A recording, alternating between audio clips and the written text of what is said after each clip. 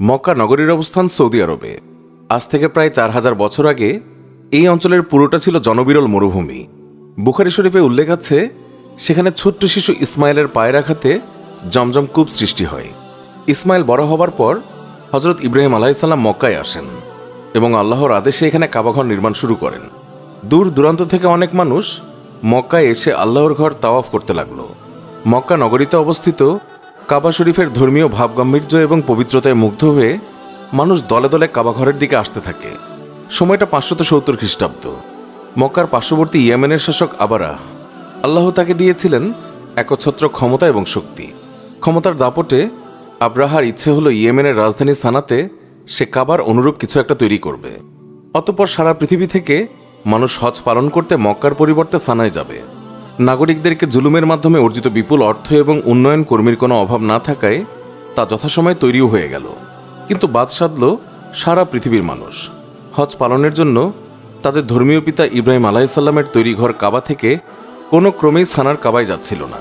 তখন এমন খবর শুনতে পেয়ে ইয়েমেনের খ্রিস্টিয়ান রাজা আব্রাহা রেগে যান। কারণ তিনি যেই গির্জা বানিয়েছেন, সেখানে খুব বেশি মানুষের সমাগম হতো না। আব্রাহা দিনে দিনে রাগে, ক্রোধে অন্ধ হয়ে যেতে লাগল। তার সব রাগ গিয়ে পড়ল আরবের মক্কার সেই কাবার ওপর তিনি কাবা ধ্বংস করে দেওয়ার জন্য মনস্থির করলেন। আব্রাহা তখন চল্লিশ হাজার সৈন্য এবং কয়েক হাজার হাতি নিয়ে মক্কার দিকে রওনা হন। তার বাহিনীর সম্মুখে ছিল একটি সাদা হাতি। মোট আটটি হাতি ছিল সেই বাহিনীতে। আব্রাহা ভেবেছিলেন হাতি দিয়ে কাবা শরীফ গুড়িয়ে দেবেন তিনি। বর্ণিত আছে, মক্কার সীমানায় পৌঁছালে আব্রাহার সাদা হাতি বসে পড়ে। সেটাকে জোর করেও আর আগানো যাচ্ছিল না। আব্রাহার নির্দেশে একটি দল মক্কাবাসীদের উটকেড়ে নিয়ে এলো। এর মধ্যে মহানবী সাল্লাহ আলাইসাল্লামের দাদা আব্দুল মুতালেবেরও দুইশো উট ছিল। আব্রাহা ঘোষণা দিলেন, আমি কেবল কাবা ধ্বংস করতে এসেছি, মানুষকে নয়, তবে কেউ বাঁধা দিলে সে মরবে। আব্দুল মুতালিবের পরামর্শে মক্কার সবাই পাহাড়ে গিয়ে আশ্রয় নিয়েছিল। তখন তিনি আব্রাহার আহ্বানে সাড়া দিয়ে একটি মিটিং করতে গেলেন। আলোচনার শুরুতেই আব্দুল মুতালিব আব্রাহাকে সতর্ক করলেন। তাকে বললেন, এমন বিপজ্জনক কাজ থেকে বিরত থাকতে কিন্তু ক্ষমতার কারণে উন্মত্ত আব্রাহাকে থামানো গেল না। আব্দুল মুতালিব বললেন, আমার উট ফেরত দিন। আব্রাহা অবাক হয়ে বললেন, আমি তো ভাবলাম আপনি অনুনয় বিনয় করবেন।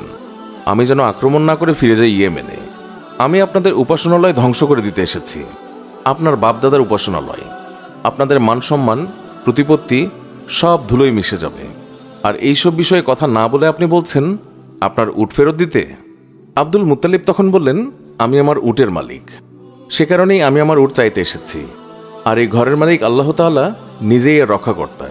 আমি নিশ্চিত তিনি তার ঘর রক্ষা করবেন।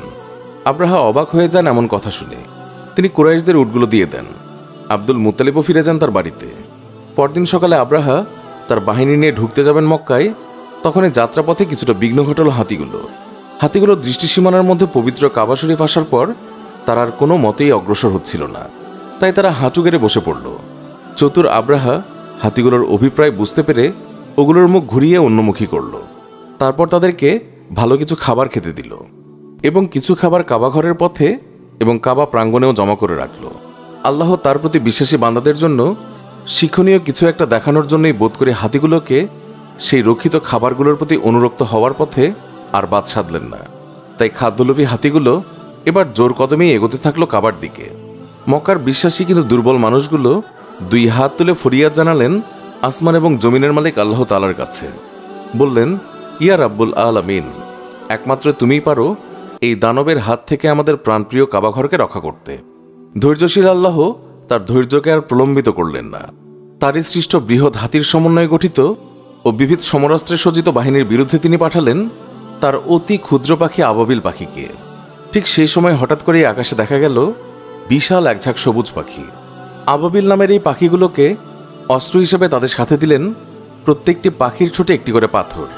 আর পায়ে করে দুইটি পাথর নিয়ে আসে বহনযোগ্য ক্ষুদ্র ক্ষুদ্র পোড়ামাটির তৈরি শক্ত ঢিল এবং সেনাবাহিনীর ওপর সেগুলো বৃষ্টির মতো ফেলে দিতে শুরু করে।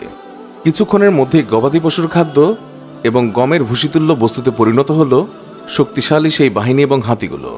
অতঃপর বাতাসে উঠতে লাগল সেই ভুসি এই পাথর বর্ষণে বাহিনীর বেশিরভাগ সৈন্য পালিয়ে যায়। বাকিরা নিহত হয়। আব্রাহাও গুরুতর আহত হন এবং ইয়েমেনে পালিয়ে যাওয়ার পথে মারা যান। হজরত ইবনে আব্বাসের বর্ণনা মতে, যার উপরে পাথরের কণা পড়ত, তার সারা গায়ে ভীষণ চুলকানি শুরু হতো এবং চুলকাতে চুলকাতে চামড়া ছিঁড়ে গোস্ত ঝরে পড়তে থাকত।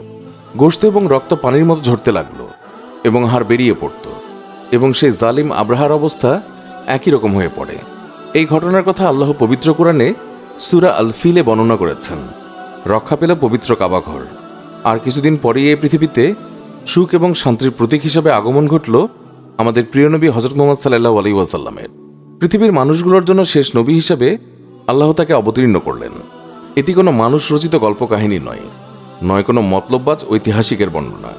এই বর্ণনা স্বয়ং আমাদের সৃষ্টিকর্তা আল্লাহ তালার যিনি তা বর্ণনা করেছেন পবিত্র সুরা ফিলে, যেখানে কোনো এক ইস্যুতে নিরাজ রাসুল্লাহ সাল্লাহ আলাইসাল্লামকে তিনি সান্ত্বনা এবং সাহস দিয়ে বলেছিলেন, তুমি কি দেখনি, তোমার প্রতিপালক কাবাঘর ধ্বংস করতে আসা হাতিওয়ালাদের সাথে কি আচরণ করেছিলেন? তিনি কি তাদের চক্রান্ত নস্বাত করে দেননি? তিনি তাদের বিরুদ্ধে পাঠিয়েছেন ঝাঁকে ঝাঁকে আবাবিল পাখি, যারা সেই হাতিগুলোর উপর পোড়ামাটির পাথর নিক্ষেপ করেছিল। অতঃপর তিনি সেই হাতিওয়ালাদের পরিণত করেছিলেন ভুসির নাই রাত গভীর হলে যখন চারিদিক নিস্তব্ধ হয়ে পড়ে, তখন এই আবাবিল পাখির ডাক শোনা যায়। মসজিদের ভিতরে ছাদে হেরেমের ভিতর এদের সুন্দর বাসা সবার নজরে আসে। সুপ্রিয় দর্শক, আমাদের এই ভিডিওটি ভালো লেগে থাকলে অবশ্যই একটি লাইক দিন এবং এখনও আমাদের চ্যানেলটি সাবস্ক্রাইব না করে থাকলে এক্ষুনি সাবস্ক্রাইব করে পাশে থাকা বেল আইকনটি প্রেস করুন। আবারও দেখা হবে নতুন ভিডিওতে। এখনকার মতো বিদায় জানাচ্ছি।